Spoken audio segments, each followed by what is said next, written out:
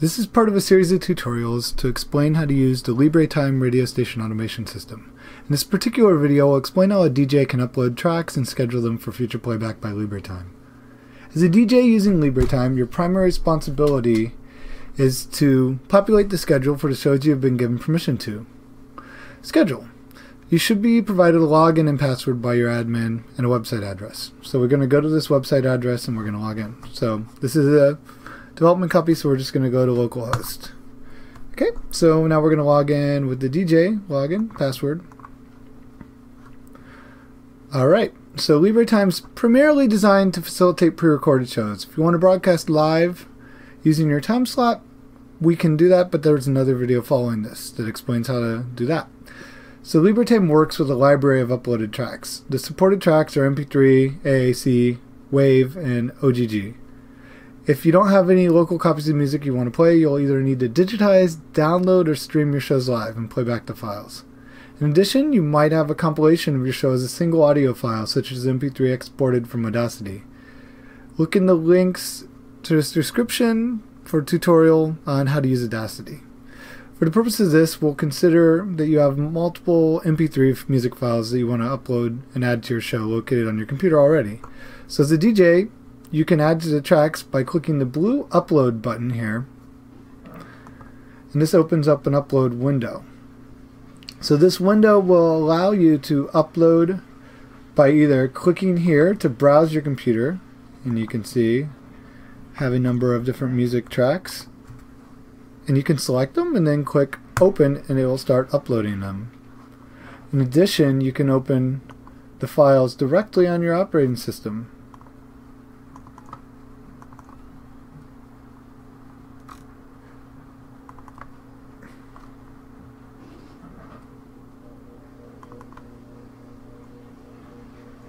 And so I'm going to pull some video, some audio songs from in here. Okay, we're going to upload a Tegan and Sara album. And we're just going to take it and we're going to drag it. And it didn't work. Oh, there it goes.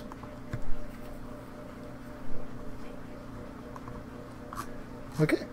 Now you can see that they're uploading and over on the right you'll see there's a point where they're pending import and then they're successfully imported.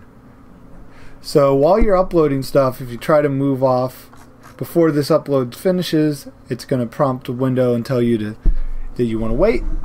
Since uh, I'm using this uploading it to the local computer that wasn't a problem. Okay so now we have uploaded a bunch of these tracks. And so we actually want to go and see how we're going to schedule them. So we're going to click on the dashboard, and this is one way of scheduling them. And so, if you're coming coming up in the next couple hours, we have a DJ tutorial show created, so we can just see that we could drag tracks directly into there. Now, I don't see any of the tracks that I just uploaded, so I'm going to click uploaded to make them sorted by uploaded. And the first time you click it, it'll be sorting by the oldest files and click it again and now I see all the tracks I just uploaded. It sorts tracks by the last time, the, the newest tracks first. And so we're just going to take the track and drag it over to the right.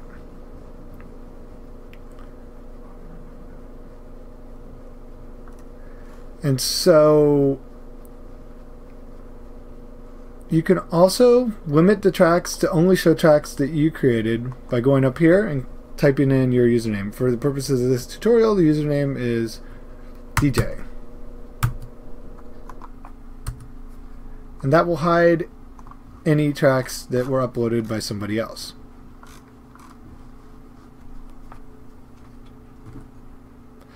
Okay, so now, in addition, you might not see your show here. So there's basically, this only shows the next couple of hours. So one thing you can do is you can expand it and make the time later. This is not a fully populated instance, but say let's just see the next three days worth of shows. Alright, and there it shows a number of different shows. You can also do filter by my shows, and that'll show all the shows that you as a DJ have been assigned to, to be able to schedule. Okay, so now we're going to another way you can do it is you can you can drag them over, or you can do this. You can check mark them and click add to next show, and the amount of scheduling time is displayed on the bottom. So this means that we've scheduled attempted to schedule oh, two extra hours of music. So we're going to we don't really this won't actually cause a problem in LibreTime because it will just cut it off somewhere in the track that's marked orange.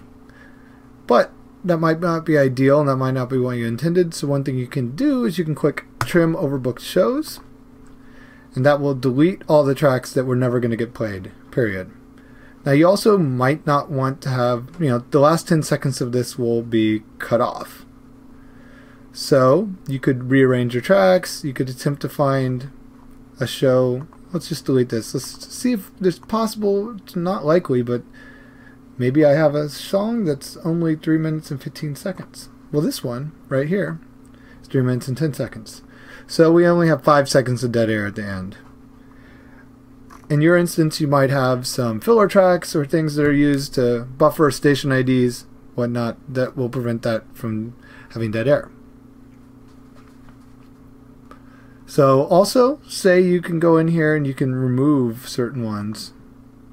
Click it, click remove, and that will not delete it from the system.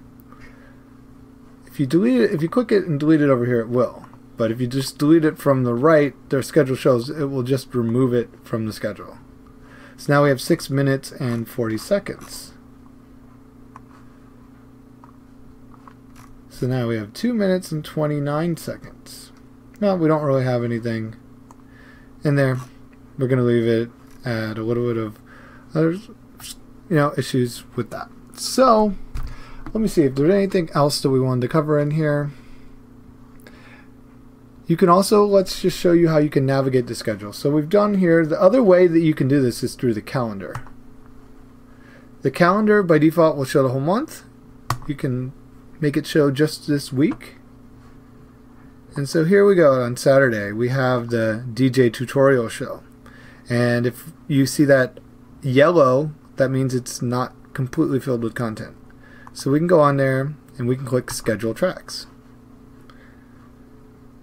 And so we can go in here and it's the same interface that you just had except for it's some of it's slightly different. It doesn't allow you to limit to owner, but in general you can also, so we can see tracks uploaded by other people. See, so there was ones that previously you couldn't see because admin had uploaded them. And so now we actually are able to complete it. And there, we have perfectly scheduled down to zero. You can go here and you can see no longer an issue.